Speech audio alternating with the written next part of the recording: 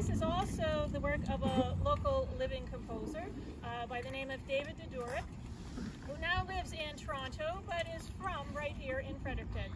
Uh, David mostly composes for film, but two years ago he was invited to compose a piece for the Fredericton High School Band, which is of course his alma mater. Uh, and this piece, which he titled Never Waver, was meant to be a testament to the human spirit, the fight to never give up when things are difficult and to remain strong in times of great challenge. The piece was first performed by the FHS band in combination with invited alumni performers, including myself, so that was a treat.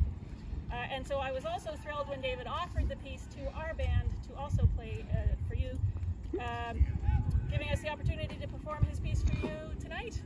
So this is Never Waver by David Dudor. Música